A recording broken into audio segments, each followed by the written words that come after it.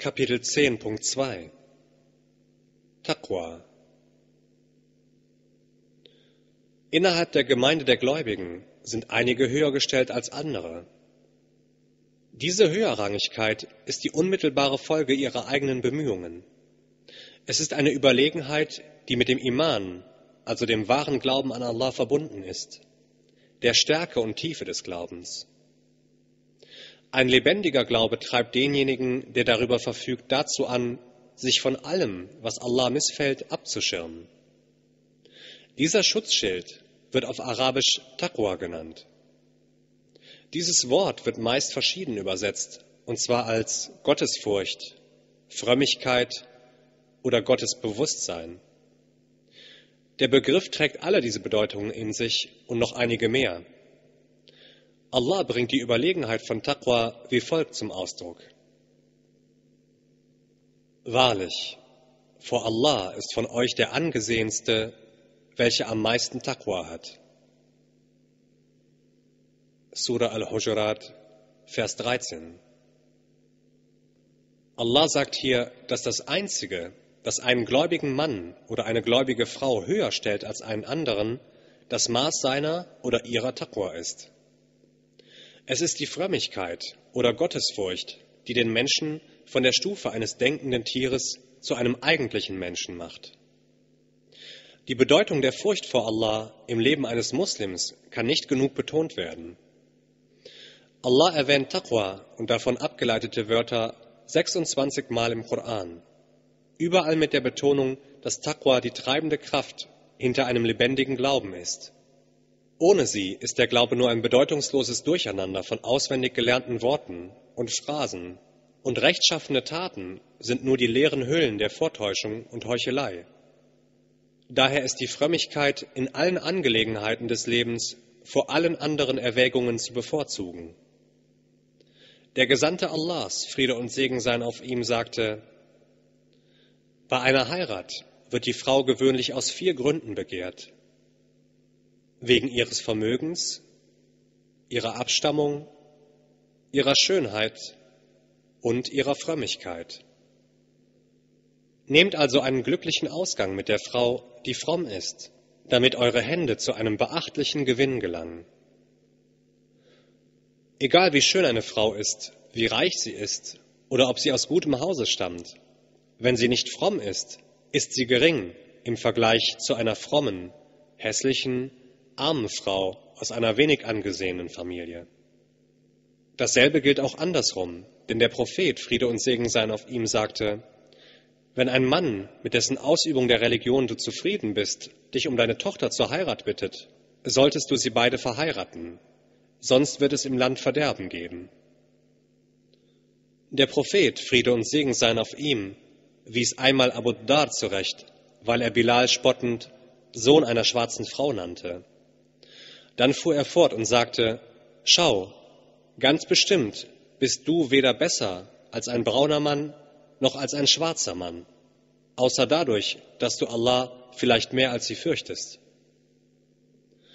Dieses Verständnis wurde wieder und wieder von Allahs Gesandten, Friede und Segen seien auf ihm, betont. Sogar bei der Abschiedspilgerfahrt, kurz bevor er starb, predigte er den Leuten über die Bedeutungslosigkeit von Rassenunterschieden und über die Wichtigkeit der Taqwa. Die frömmsten Individuen sind nur Allah bekannt, weil der Sitz der Taqwa im Herzen ist. Menschen können Leute nur nach ihren äußeren Taten beurteilen, die vielleicht ein falsches Bild vermitteln. Allah machte dies in folgendem Vers klar. Und unter den Menschen gibt es manch einen, dessen Rede über diese Welt dich in Verwunderung versetzen mag. Und er ruft Allah zum Zeugen an für das, was in seinem Herzen ist und dabei ist er der streitsüchtigste Widersacher. Surah al-Baqarah, Vers 204. Deswegen ist es nicht zulässig, dass Menschen bestimmte Leute als besonders heilig und als fromm in einem Grade, der jenseits der Reichweite gewöhnlicher Menschen liegt, zu bezeichnen. Der Prophet Muhammad, Friede und Segen seien auf ihm, gab die Namen einiger seiner Gefährten kund, denen er die frohe Botschaft des Paradieses schon in diesem Leben verkündete. Jedoch basierten solche Äußerungen auf Offenbarung und nicht auf seiner eigenen Fähigkeit, die Herzen zu beurteilen. Als der Prophet, Friede und Segen seien auf ihm, zum Beispiel über diejenigen, die ein Treueversprechen, bekannt als Bay'a Ridwan, abgegeben hatten, sagte, niemand, der das Versprechen unter dem Baum geleistet hat, wird ins Höllenfeuer eintreten. Bestätigte er den offenbarten Koranvers.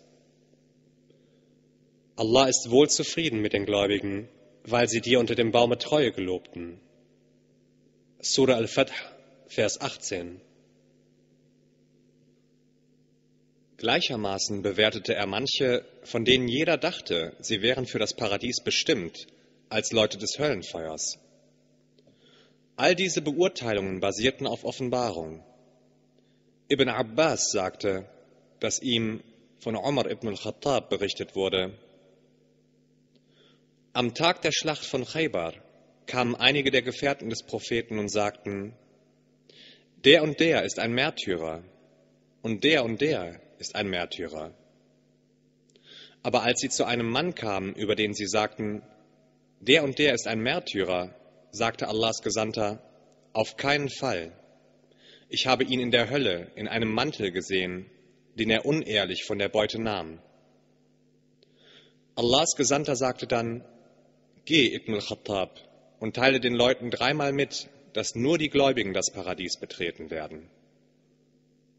In der christlichen Tradition wurden über lange Zeit hinweg bestimmte Individuen für ihre vermeintlichen spirituellen Leistungen gerühmt. Wunder wurden ihnen zugeschrieben und der Status eines Heiligen verliehen. In der vorchristlichen, hinduistischen und buddhistischen Tradition wurden Lehrern, von denen man annahm, sie wären die Leiter der spirituellen Vollendung emporgestiegen und hätten übernatürliche Meisterleistungen vollbracht, Titel wie Guru, Avatar und so weiter verliehen die auf spirituelle Höherrangigkeit hinweisen. Diese Bezeichnungen haben die Massen dazu geführt, entweder Fürsprache durch sie zu ersuchen oder sie als Götter zu verehren.